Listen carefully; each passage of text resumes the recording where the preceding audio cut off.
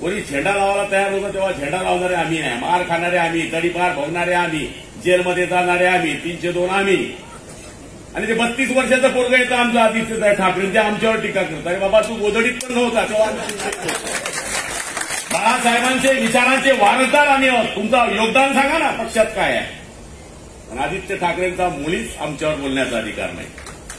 मुळीच आदित्य ठाकरे. कोण आदित्य ठाकरे?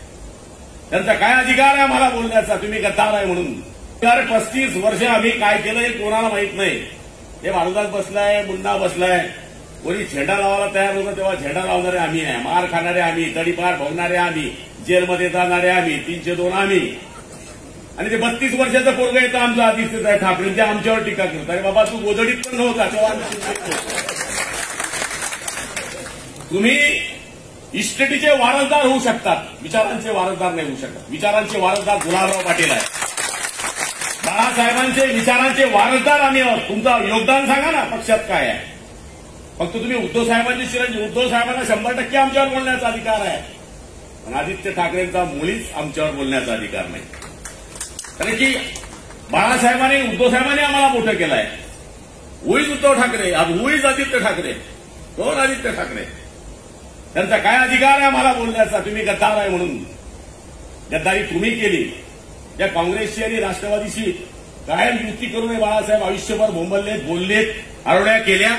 तुम्ही त्यांच्याशी युती केली आम्ही तुमच्या मागे नतमस्तक होऊन गेलो. आम्ही तुमचं ऐकलं.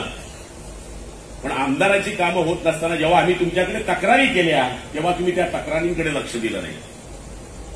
आता काही लोक म्हणतात तुम्हाला क्या होगा कालिया? जो होगा होगा. गब्बर सिंग ठरायला क्या होगा?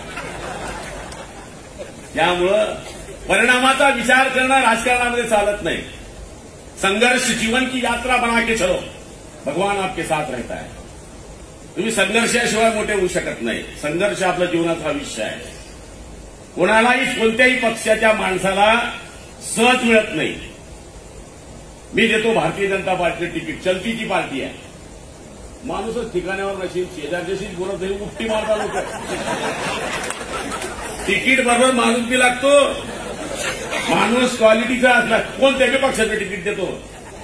काय काही लोक असे पाच लाख पाडून डिपॉझिट वाटू शकत नाही वाटून. इतका भंगार वागलं ना आता त्याच्या गावात. उपटून उपटून हाणता लोक. आता सापडणार झाला. आई द्यायला पाहिजे पक्षाचं योगदान निश्चित आहे निश्चित आहे. पण माणसाला सुद्धा किंमत आहे.